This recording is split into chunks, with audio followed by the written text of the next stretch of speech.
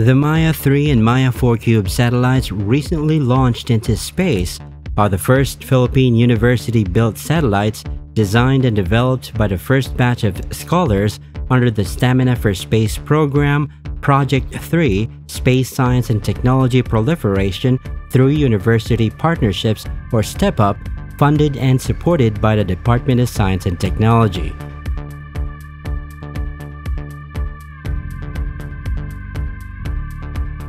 The Maya 3 and 4 Cube satellites measure 10 by 10 by 11.35 centimeters with an estimated mass of 1.1 kilograms. Both satellites feature two deployable UHF and VHF antennas, solar array panels, GPS patch antenna, and a lever switch.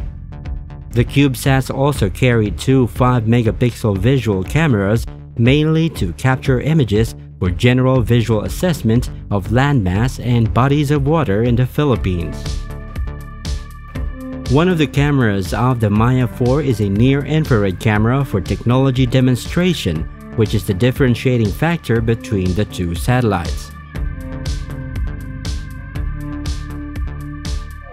The Maya 3 and Maya 4 Cube satellites are expected to fulfill the following missions.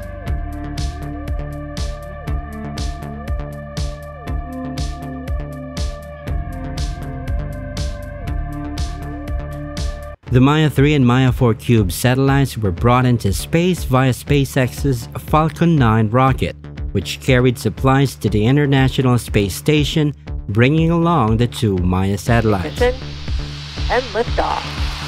Cargo Dragon takes flight, continuing a busy year of deliveries to a crew of seven aboard the International Space Station.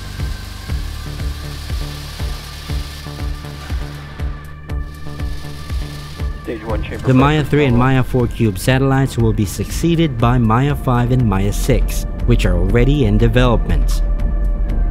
Once again, please don't forget to like and share the video and consider subscribing. As always, thanks for watching.